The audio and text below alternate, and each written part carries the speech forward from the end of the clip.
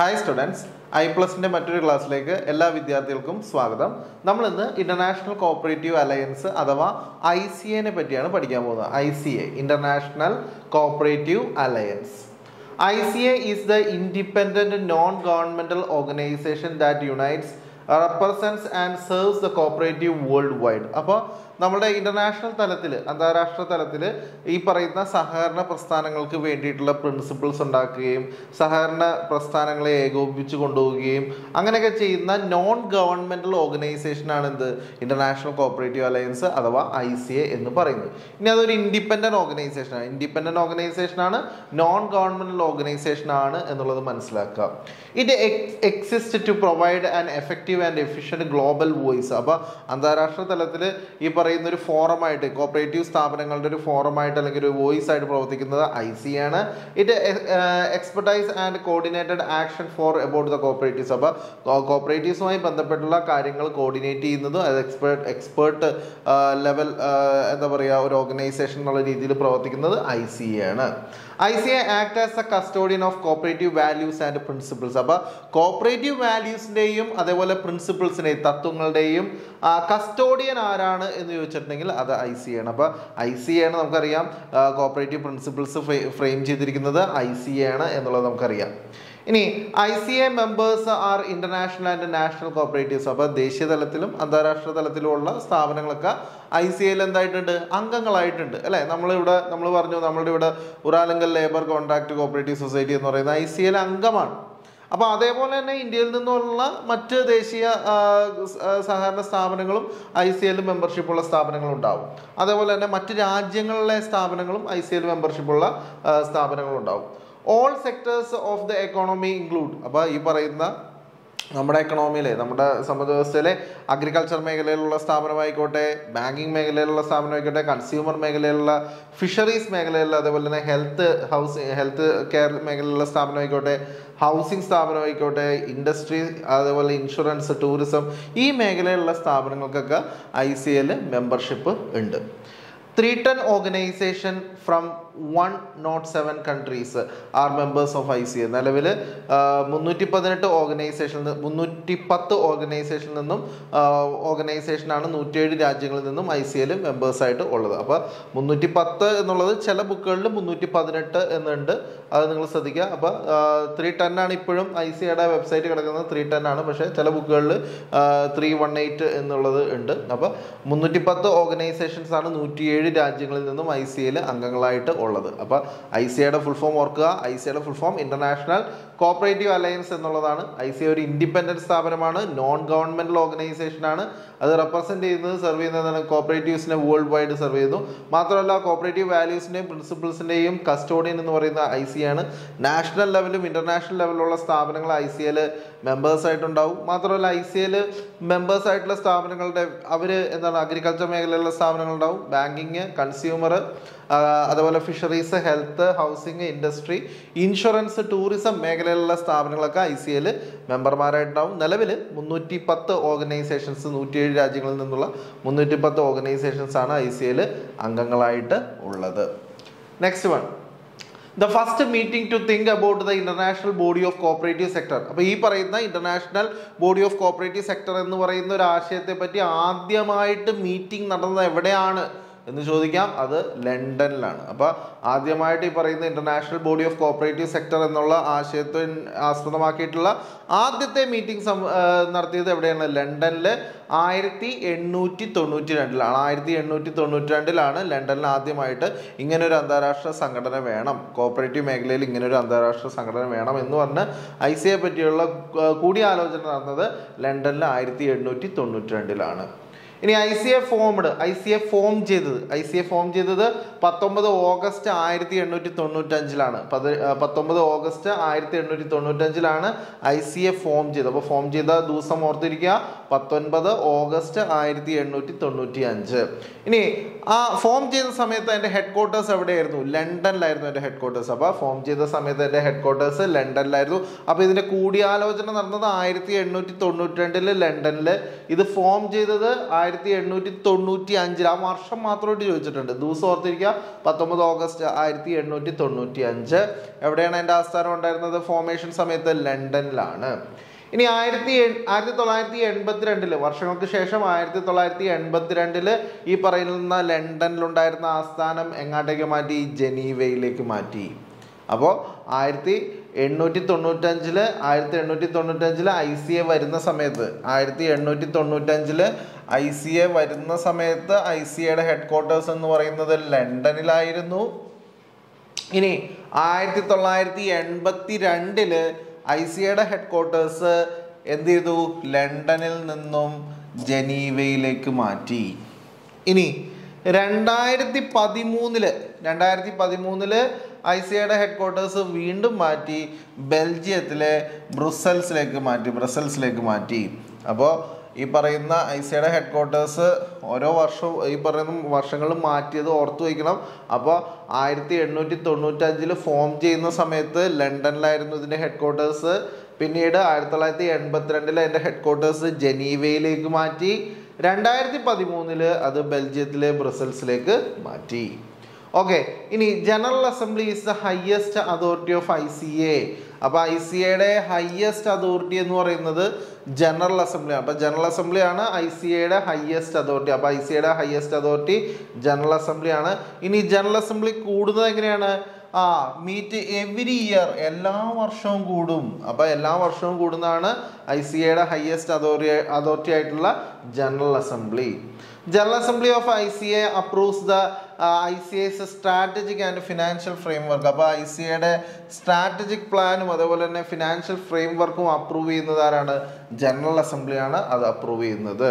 ഇനി ആദ്യത്തെ ഇന്ത്യയിൽ നിന്നുള്ള ആദ്യത്തെ എക്സിക്യൂട്ടീവ് മെമ്പർ എന്ന് പറയുന്നത് ആരായിരുന്നു? രാംദാസ് പന്തലു ആയിരുന്നു. അപ്പോൾ രാംദാസ് പന്തലു ആയിരുന്നു ഇന്ത്യയിൽ നിന്നുള്ള ആദ്യത്തെ എക്സിക്യൂട്ടീവ് മെമ്പർ എന്ന് പറയുന്നത്. അപ്പോൾ ഐ സി എയിലേക്കുള്ള ഇന്ത്യയിൽ നിന്നുള്ള ആദ്യത്തെ എക്സിക്യൂട്ടീവ് മെമ്പർ ആരായിരുന്നു? രാംദാസ് പന്തലു ആയിരുന്നു. ഇനി ഐ സി എ ഡയറക്ടറി അല്ലെങ്കിൽ ഇന്റർനാഷണൽ ട്രേഡ് ഡയറക്ടറി അല്ലെങ്കിൽ ഐ സി എ ബുള്ളറ്റിൻ ഈ രണ്ടും ഐ സി എയുടെ പബ്ലിക്കേഷനാണ് അപ്പോൾ ഐ സി എയുടെ പബ്ലിക്കേഷനാണ് cooperative trade directory I C A directory അല്ല പറഞ്ഞാൽ മാറിപ്പോയി. International cooperative trade directory I C A bulletin I C A bulletin അത് പേര് അതിനകത്തുള്ളതുകൊണ്ട് ചോദിക്കില്ല. ഇന്റർ ഈ പറയുന്ന കോപ്പറേറ്റീവ് ട്രേഡ് ഡയറക്ടറി ചോദിക്കുക. അപ്പോൾ നിങ്ങൾ ഓർത്തിരിക്കുക കോപ്പറേറ്റീവ് ട്രേഡ് ഡയറക്ടറി എന്ന് പറയുന്നത് ഐ സി എയുടെ പബ്ലിക്കേഷനാണ് first woman president I C എയുടെ first woman president dame Pauline Green ആണ്. അപ്പോൾ ഐ സി എയുടെ first president dame Pauline Green ആണ്. Dame Pauline Green I C എയുടെ പ്രസിഡന്റായി വന്നത് രണ്ടായിരത്തി ഒൻപതിലാണ് അപ്പോൾ രണ്ടായിരത്തി ഒൻപതിലാണ് ഐ സി എയുടെ പ്രസിഡന്റായിട്ട് ഡെയിം പൗളിൻ ഗ്രീൻ വന്നിട്ടുള്ളത്. ഇനി പ്രസന്റ് പ്രസിഡന്റ് നിലവിലെ ഐ സി എയുടെ പ്രസിഡന്റ് എന്ന് പറയുന്നത് ഏരിയൽ ഗുർഖോ ആണ്. നിലവിലെ ഐ സി എയുടെ പ്രസിഡന്റ് ഏരിയൽ ഗുർഖോ ആണ്. ഏരിയൽ ഗുർഖോ ചാർജ് എടുത്തിരിക്കുന്നത് രണ്ടായിരത്തി പതിനേഴിലാണ് രണ്ടായിരത്തി ഇരുപത്തൊന്ന് വരെയെന്ന് അദ്ദേഹത്തിന്റെ കാലാവധി വീണ്ടും അത് എക്സ്റ്റെൻഡ് ചെയ്ത് കൊടുത്തിട്ടുണ്ട്. The Uralungal labour contract cooperative society. നമുക്കറിയാം കോഴിക്കോട് ജില്ലയിലെ വടകരയിലുള്ള labour contract cooperative സൊസൈറ്റിയാണ് Uralungal labour contract cooperative society. നമ്മളൊരു ഷോർട്ട് ഫോം ആയിട്ട് U L C C S എന്നുള്ള വാഹനങ്ങൾ നിങ്ങൾ കണ്ടിട്ടുണ്ടോ? U L C C S. അല്ലേ? നിലവിൽ എന്റെ സിഇഒ എന്ന് പറയുന്നത് രമേശൻ പാലേരിയാണ്.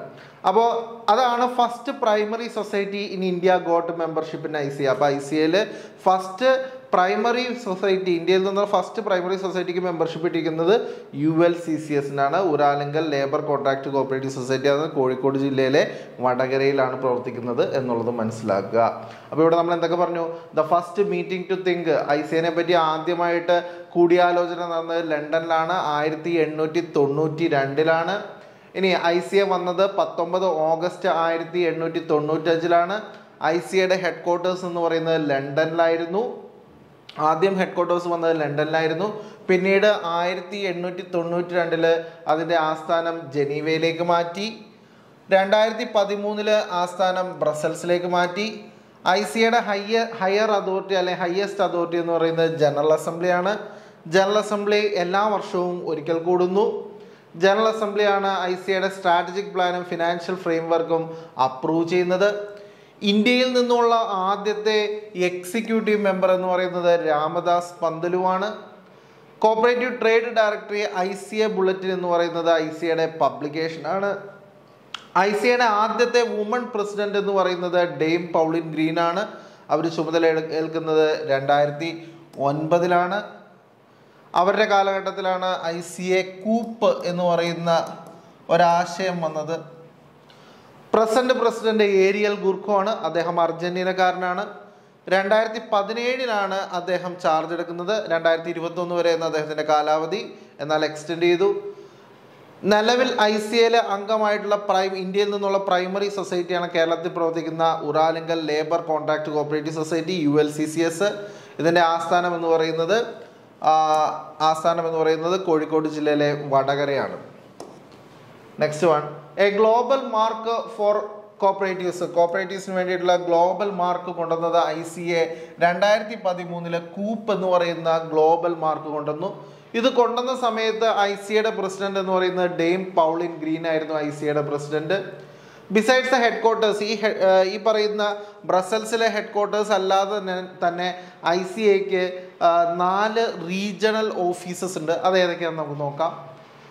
ഏഷ്യ പസഫിക് ഓഫീസ് അതിനെ നമ്മൾ ഐ സി എ റോപ്പ് എന്ന് വിളിക്കുന്നത്. ഐ സി എ റോപ്പ് എന്നാണ് വിളിക്കുന്നത് ഏഷ്യ പസഫിക് ഓഫീസിനെ ഏഷ്യ പസഫിക് ഓഫീസ് എസ്റ്റാബ്ലിഷ് ചെയ്തിരിക്കുന്നത് പതിനാല് പതിനൊന്ന് ആയിരത്തി തൊള്ളായിരത്തി അറുപതിലാണ് എസ്റ്റാ അപ്പോൾ ഏഷ്യ പസഫിക് ഓഫീസ് എസ്റ്റാബ്ലിഷ് ചെയ്യുന്നത് പതിനാല് പതിനൊന്ന് ആയിരത്തി തൊള്ളായിരത്തി അറുപതിലാണ് ഈ പതിനാല് പതിനൊന്ന് പറയുമ്പോൾ നമുക്കറിയാം ജവഹർലാൽ നെഹ്റുവിന്റെ പിറന്നാളുമായി ബന്ധപ്പെട്ട്. അതുകൊണ്ടാണ് കോപ്പറേറ്റീവ് വാരാഘോഷം വീക്ക് സെലിബ്രേഷൻ ആ പതിനാലിന് സ്റ്റാർട്ട് ചെയ്യുന്നത് നവംബർ പതിനാലോടെയാണ് സ്റ്റാർട്ട് ചെയ്യുന്നത്.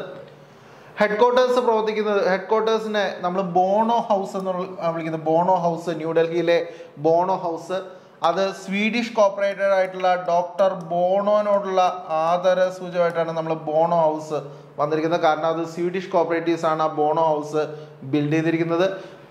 ഈ പറയുന്ന ഹെഡ് ക്വാർട്ടേഴ്സ് ഉദ്ഘാടനം ചെയ്തിരിക്കുന്നത് നമ്മളുടെ പ്രൈം മിനിസ്റ്റർ ആയിട്ടുള്ള ജവഹർലാൽ നെഹ്റു ആണ്. അപ്പോൾ ഏഷ്യ പസഫിക് ഓഫീസിനെ ഐ സി എ റോപ്പ് എന്നാണ് വിളിക്കുന്നത്.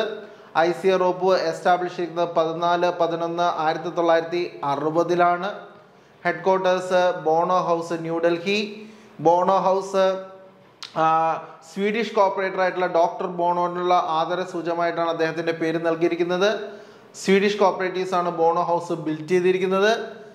ഈ പറയുന്ന ബോണോ ഹൗസ് ഉദ്ഘാടനം ചെയ്തിരിക്കുന്നത് ജവഹർലാൽ നെഹ്റു ആണ് ഇനി അമേരിക്കൻ ഓഫീസ് രണ്ടാമത്തെ office American office. American office വന്നിരിക്കുന്നത് ആയിരത്തി തൊള്ളായിരത്തി തൊണ്ണൂറിലാണ് അതിന്റെ ആസ്ഥാനം San ജോസിലാണ്. Next one European office. European office പ്രവർത്തിക്കുന്നത് ബ്രസൽസിലാണ്. ഇത് വന്നിട്ടുള്ളത് രണ്ടായിരത്തി അഞ്ചിലാണ് ആഫ്രിക്കൻ ഓഫീസ്. ആഫ്രിക്കൻ ഓഫീസ് രണ്ട് ഓഫീസ് ഉണ്ടായിരുന്നു. എന്നാൽ രണ്ടായിരത്തി പതിനാലിൽ അത് മെർജ് ചെയ്തു. രണ്ട് ഓഫീസ് ഉണ്ടായിരുന്നു. വെസ്റ്റ് ആഫ്രിക്കയ്ക്ക് ഒരു ഓഫീസ് ഉണ്ടായിരുന്നു. സെൻട്രൽ സൗത്ത് ആഫ്രിക്കയ്ക്ക് ഈസ്റ്റ് ആഫ്രിക്കയും കൂടി ഒരു ഓഫീസ് ഉണ്ടായിരുന്നു. ഇത് രണ്ടും മെർജ് ചെയ്ത് നിലവിലെ ആഫ്രിക്കൻ ഓഫീസ് കെനിയയുടെ തലസ്ഥാനമായിട്ടുള്ള നൈറോബിയിലാണ് പ്രവർത്തിക്കുന്നത്. അപ്പോൾ ഐ സി എക്ക് നാല് ഓഫീസുകളാണുള്ളത് ഏഷ്യ പസഫിക് ഓഫീസ് അതിനെ ഐ സി യൂറോപ്പ് എന്ന് വിളിക്കുന്നു. അമേരിക്കൻ ഓഫീസ് യൂറോപ്യൻ ഓഫീസ് അതേപോലെ യൂറോപ്യൻ ഓഫീസ് അതേപോലെ തന്നെ African office Asia Pacific office ഇന്ത്യയിലെ ന്യൂഡൽഹിയിലാണ് ബോണോ ഹൗസ് എന്നുള്ള പേരിൽ അറിയപ്പെടുന്നു. അമേരിക്കൻ ഓഫീസ് ആയിരത്തി തൊള്ളായിരത്തി തൊണ്ണൂറിലാണ് വന്നത് സാൻജോസിലാണ് യൂറോപ്പ് ഓഫീസ് ബ്രസൽസിലാണ് രണ്ടായിരത്തി അഞ്ചിൽ വന്നു ആഫ്രിക്കൻ ഓഫീസ് രണ്ടായിരത്തി നാലിൽ വന്നു. അത് കെനിയയുടെ തലസ്ഥാനമായിട്ടുള്ള നൈറോബിയിലാണ് എന്നുള്ളത് മനസ്സിലാക്കുക. Next one definition of cooperatives a cooperative is an autonomous association of persons വ്യക്തികളുടെ ഓട്ടോണോമസ് ആയിട്ടുള്ള അസോസിയേഷൻ ആണ്. അവരെങ്ങനെയാണ് united voluntarily to meet the common economic and social cultural needs and aspiration through the joint owned and democratically controlled enterprise എന്നാണ് കോപ്പറേറ്റീവ്സിനെ പറയുന്നത്. അപ്പോൾ cooperatives എന്ന് പറയുന്നത് ഓട്ടോണോമസ് അസോസിയേഷനാണ് വ്യക്തികളുടെ ഓട്ടോണോമസ് ആയിട്ടുള്ള അസോസിയേഷനാണ് ഒത്തുചേരലാണ്. എങ്ങനെയാണ്? അവരാരും നിർബന്ധിച്ചിട്ടുള്ള കോമൺ ആയിട്ടുള്ള സാമ്പത്തികവും സാംസ്കാരികവും അതേപോലെ തന്നെ സാമൂഹികമായിട്ടുള്ള ആവശ്യങ്ങൾക്ക് വേണ്ടി ജോയിന്റ് ആയിട്ട് ഓൺ ചെയ്തിരിക്കുന്നു. എങ്ങനെ? മാത്രമല്ല ഇത് ഇത്തരത്തിൽ ഓൺ ചെയ്തിരിക്കുന്ന ഈ ഒരു സ്ഥാപനങ്ങൾ എങ്ങനെ കൺട്രോൾ ചെയ്യുന്നത് ഡെമോക്രാറ്റിക്കലി കൺട്രോൾ ചെയ്യണമെങ്കിൽ അത്തരത്തിലുള്ള സ്ഥാപനങ്ങളാണ് നമ്മൾ കോപ്പറേറ്റീവ്സ് എന്ന് പറയുന്നത്. ഇനി കോപ്പറേറ്റീവ്സിന്റെ വാല്യൂസ് എന്ന് പറയുന്നത് എന്താണ്? എന്തൊക്കെയാണ്? Self help self responsibility democracy equality equity solidarity. ഇതൊക്കെയാണ് കോപ്പറേറ്റീവ്സിന്റെ വാല്യൂസ് എന്ന് പറയുന്നത്. അപ്പോൾ കോപ്പറേറ്റീവ് വാല്യൂസ് എന്ന് പറയുന്നത് എന്തൊക്കെയാണെന്ന് ഓർത്തു വയ്ക്കുക. സെൽഫ് ഹെൽപ്പ് അതുപോലെ തന്നെ self responsibility democracy equality equity solidarity. ഇതൊക്കെയാണ് കോപ്പറേറ്റീവ് വാല്യൂസ് എന്ന് പറയുന്നത്. ഈ കോപ്പറേറ്റീവ് ഐഡന്റിറ്റി എന്ന് പറയുന്ന ആശയം വന്നത് ആയിരത്തി തൊള്ളായിരത്തി തൊണ്ണൂറ്റി അഞ്ചിലാണ്. അപ്പോൾ കോപ്പറേറ്റീവ് ഐഡന്റിറ്റി എന്ന് പറയുന്ന ആശയം വന്നത് ആയിരത്തി തൊള്ളായിരത്തി തൊണ്ണൂറ്റി അഞ്ചിലാണ് ഇത് കൊണ്ടുവന്നത്. ഇവാൻ മെക്ഫേഴ്സനാണ് ഇവാൻ മെക്ഫേഴ്സനാണ് ഇത് കൊണ്ടുവന്നത്. ഈ ഒരു ആശയം കൊണ്ടുവന്നത്. ആ സമയത്തെ കോപ്പറേറ്റീവ് പ്രിൻസിപ്പിൾസ് ഫ്രെയിം ചെയ്ത് ആ ഒരു കമ്മിറ്റിയുടെ ചെയർമാൻ അദ്ദേഹമായിരുന്നു. The I C adopted the revised statement of cooperative identity which contains the definition of cooperatives values cooperatives the seven cooperative principles അപ്പോൾ അത് അഡോപ്റ്റ് ചെയ്ത അത് അഡോപ്റ്റ് ചെയ്ത് ആയിരത്തി തൊള്ളായിരത്തി തൊണ്ണൂറ്റി അഞ്ചിലാണ് എന്നുള്ളത് ഓർത്ത് വയ്ക്കുക yes next one cooperative principles നിലവിലുള്ള ഏഴ് കോപ്പറേറ്റീവ് പ്രിൻസിപ്പിൾസ് ഏതൊക്കെയാണെന്ന് നോക്കാം. Voluntary and open membership voluntary ആണ് സ്വമേധയാ നമുക്ക് ആർക്കും ഓപ്പൺ മെമ്പർഷിപ്പാണ് ഡെമോക്രാറ്റിക് മെമ്പർ കൺട്രോൾ എങ്ങനെയാണ്? ഡെമോക്രാറ്റിക് ആയിട്ടുള്ള മെമ്പർ കൺട്രോൾ ആണ്. മെമ്പേഴ്സിന്റെ എക്കണോമിക് പാർട്ടിസിപ്പേഷൻ കാരണം അംഗത്വം എടുത്ത് നമ്മൾ ഒരു ചെറിയ സംഖ്യ കൊടുത്തിട്ടാണ് നമ്മൾ ചേരുന്നത്. അംഗമായി സൊസൈറ്റിയിൽ ചേരുന്നത്. ഓട്ടോണോമി ആൻഡ് ഇൻഡിപെൻഡൻസ് എന്താണ്? ആ ഇൻഡിപെൻഡന്റ് ആയിട്ട് പ്രവർത്തിക്കുന്ന സ്ഥാപനങ്ങളായിട്ടാണ് സഹകരണ സംഘങ്ങളും സഹകരണ സ്ഥാപനങ്ങളും പ്രവർത്തിക്കുന്നത്. സഹകരണ മേഖലയിൽ വിദ്യാഭ്യാസം പരിശീലനം അതുപോലെ തന്നെ ഇൻഫോർമേഷൻ കോപ്പറേഷൻ എമംഗ് കോപ്പറേറ്റീവ്സ് സഹകാരികളുടെ ഇടയിൽ സഹകരണം മാത്രമല്ല പുതിയ ആശയം വന്നിരിക്കുന്നത് കൺസേൺ ഫോർ കമ്മ്യൂണിറ്റി എന്താണ് കമ്മ്യൂണിറ്റിയോട് കുറിച്ചുള്ള കൺസേൺ അപ്പോൾ ഇതെല്ലാമാണ് ഈ ഏഴ് പ്രിൻസിപ്പിൾസാണ് നിലവിൽ ഉള്ളത്. ഏതൊക്കെയാണെന്ന് ഒന്നുകൂടെ നോക്കാം. Voluntary and open membership voluntary and open membership democratic control democratic member control ഇനി members economic participation autonomy and independence education training and information cooperation among cooperatives concern for community നമ്മളുടെ സമൂഹത്തിനോടുള്ള കരുതൽ എന്നുള്ള രീതിയിൽ കോപ്പറേറ്റീവ്സ് പല കാര്യങ്ങളും ചെയ്യുന്നുണ്ട്. എന്തൊക്കെയാണ്? നീതി സ്റ്റോർ നീതി മെഡിക്കൽസ് ഇതൊക്കെ ചെയ്യുന്നത് കൺസേൺ ഫോർ കമ്മ്യൂണിറ്റി എന്നുള്ള ആശയത്തിനോട് കൂടെ നിൽക്കുന്നതാണ്. ഓക്കെ അപ്പോൾ ഇത്തരം വീഡിയോ കണ്ട് മനസ്സിലാക്കുക. മറ്റൊരു ടോപ്പിക്കുമായിട്ട് അടുത്ത ക്ലാസ്സിൽ കാണാം. താങ്ക്